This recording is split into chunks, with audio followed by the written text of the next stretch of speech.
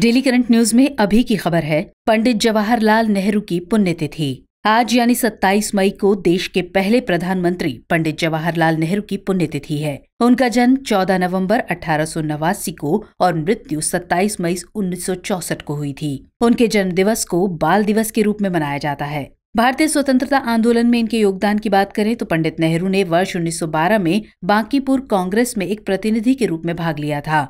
वर्ष 1916 में वे एनी बेसेंट की होम रूल लीग में शामिल हुए। वे वर्ष 1919 में होम रूल लीग इलाहाबाद के सचिव बने। नेहरू को सितंबर 1923 में अखिल भारतीय कांग्रेस कमेटी के महासचिव के रूप में नियुक्त किया गया था। वर्ष 1927 तक उन्होंने दो बार कांग्रेस पार्टी के महासचिव के रूप में कार्य किया। वर्ष 1936 में उन्होंने भारतीय राष्ट्रीय कांग्रेस के लखनऊ अधिवेशन की अध्यक्षता की। वर्ष उन्नीस सौ उनतीस में नेहरू को भारतीय राष्ट्रीय कांग्रेस के लाहौर अधिवेशन के अध्यक्ष के रूप में चुना गया था। उन्होंने इस अधिवेशन में भारत की पूर्ण स्वतंत्रता की वकालत की। वर्ष उन्नीस इकतीस में उन्होंने मौलिक अधिकार और आर्थिक नीति नामक एक प्रस्ताव का मसौदा तैयार किया, जिसमें कांग्रेस के मुख्य लक्ष्यों और देश के भविष्य को रेखांकित किया गया। वर्ष उन्नीस सौ इकतीस में कराची अधिवेशन के दौरान कांग्रेस पार्टी द्वारा इस प्रस्ताव की पुष्टि की गई, जिसकी अध्यक्षता सरदार वल्लभ भाई पटेल ने की थी।